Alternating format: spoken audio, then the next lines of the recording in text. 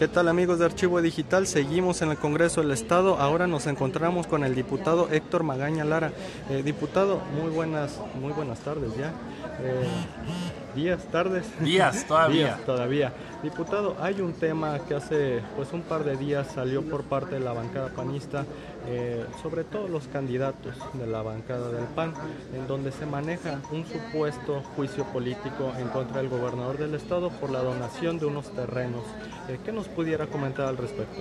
Bueno, mira, eh, decirte que lamentablemente es una situación electorera de quienes lo presentan porque hubo una reunión en la que todos los diputados locales se nos explicó con mucha claridad todo el proceso administrativo y cómo fue que el gobierno, por supuesto, intervino para poderse hacer estos terrenos e inclusive el mismo diputado Luis Ladino que ha estado promoviendo esto con un interés meramente político, pues bueno, estuvo presente ahí en la, en la reunión cuando se presentó el punto de acuerdo aquí en el Congreso del Estado, la iniciativa, él la votó a favor. Entonces suena medio raro que primero la vota a favor, después dice que fue engañado, después comenta que está desinformado. Entonces es una cuestión meramente política de, este Luis Ladino, en el cual busca pues sacar raja política. Entonces, bueno, yo creo que eso es muy importante que lo sepa la ciudadanía, que a todos los diputados se nos convocó, a todos los diputados se nos informó. Es un trámite meramente transparente, es un trámite que administrativamente se llevó correctamente y que de alguna u otra manera lo están utilizando lamentablemente para sacar raja política. Yo creo que debe ser serio en el tema de las propuestas, no engañar a la gente. La gente no, no, quiere ya eso de los políticos. Lo único que se hace en ese tipo de propuestas es, por supuesto, este, pues, permear un tema de, desinterés entre la sociedad, lo que la gente quiere es propuestas, acciones, qué va a hacer desde el Senado, qué va, cómo va a beneficiar a Colima. Y esa parte se le está olvidando. Entonces, es una estrategia de él, siempre ha sido. En ese sentido, bueno, te digo que yo estuve ahí presente en esa reunión, está todo de manera correcta, de la forma administrativa como se hizo, estuvo muy bien, estuvieron la gente de finanzas explicándonos, nos presentaron correctamente todo el proyecto y también te repito, pues ellos también estuvieron en esa mesa donde, la, donde lo trabajamos y además también repito, él lo votó a favor ese dictamen. Eh, diputado, cambiando un poquito de tema en cuestión de su trabajo, en el trabajo legislativo, sí. ¿cómo va? ¿Ya va a arrancar un proceso electoral local? deja pendientes? ¿Qué falta?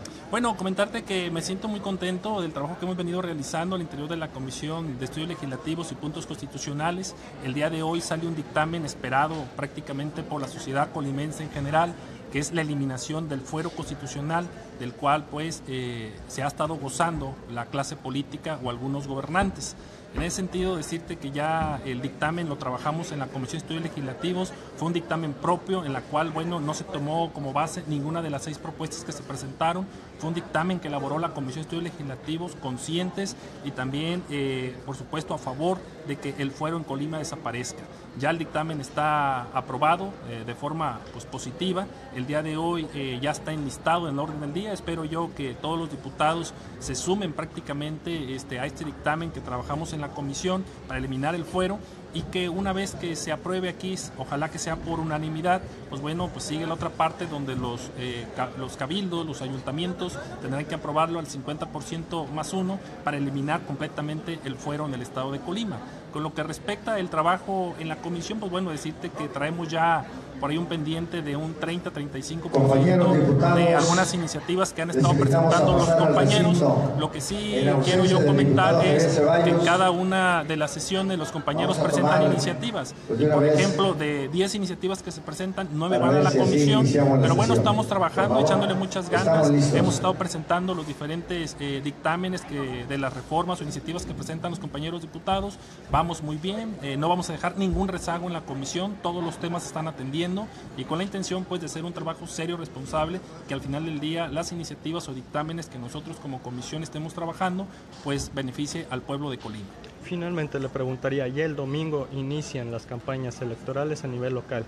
Eh, ¿En dónde va a ser este meeting de, inicio de campaña de Héctor Magaña? Bueno, comentarte que ya tenemos contemplado lo que es pues el arranque de campaña, eh, lo vamos a hacer en la colonia La Gloria. La colonia donde pues yo prácticamente nací, crecí, donde la gente me conoce, donde he decidido por convicción pues eh, presentar ahí lo que es mi propuesta de campaña, donde haré algunos compromisos importantes con la sociedad, donde haré a conocer por supuesto las diferentes propuestas en las diferentes áreas y también los compromisos que vamos a hacer con la gente. Entonces, la verdad muy contentos, muy motivados, ya con ganas de que arranque para empezar a caminar las diferentes colonias y pues con la intención pues de que la gente pueda valorar entre las diferentes eh, ofertas políticas y pues bueno, con la intención pues repito de que pues ya arranquen y poderlo hacer ya de manera formal. Gracias, diputado. agradezco mucho. Hasta luego.